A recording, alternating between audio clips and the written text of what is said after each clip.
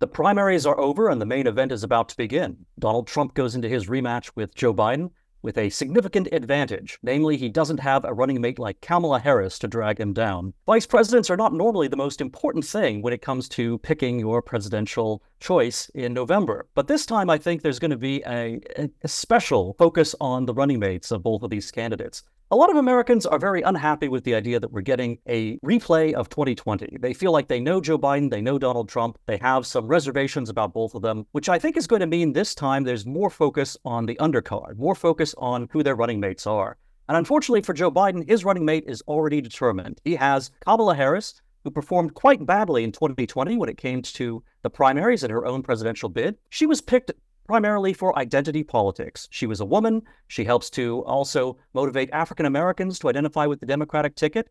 And right now, of course, Joe Biden feels like he's really bleeding support when it comes to a lot of traditional Democratic constituencies. He's very worried about shoring up the black vote, the Hispanic vote, and uh, women are one of the few voting blocks that he thinks he can count on. But now he finds in 2024 that he has uh, a running mate who isn't really bringing any additional voters to his ticket. The one thing that he's really getting out of having Kamala on his ticket is the fact that she makes it much harder to get rid of Joe Biden if Democrats wanted to have a coup and replace him, because obviously she's next in line for uh, the presidential nomination if they decide to throw Biden overboard.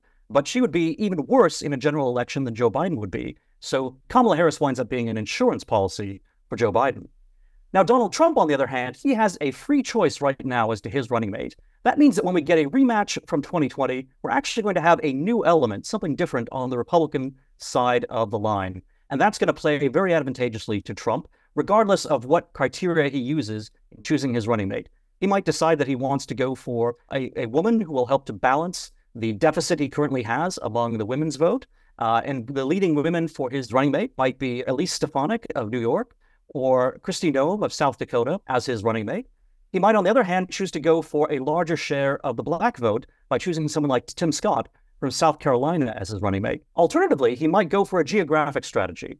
And this, I think, would entail picking someone like J.D. Vance from Ohio as his running mate. The advantage for J.D. Vance is that he is someone who, even though Ohio is a deep red state, in neighboring Rust Belt states like Pennsylvania, Vance is well attuned to the interests of less educated and blue collar voters, exactly the kind of constituencies that Trump needed to win in 2016 in order to, make, to become president. And with states like Michigan and Wisconsin and Pennsylvania all battlegrounds in 2024, the difference between success and defeat for Donald Trump may very well depend on once again motivating Rust Belt voters to come out and support him. And J.D. Vance is probably the best bet he has to make that happen.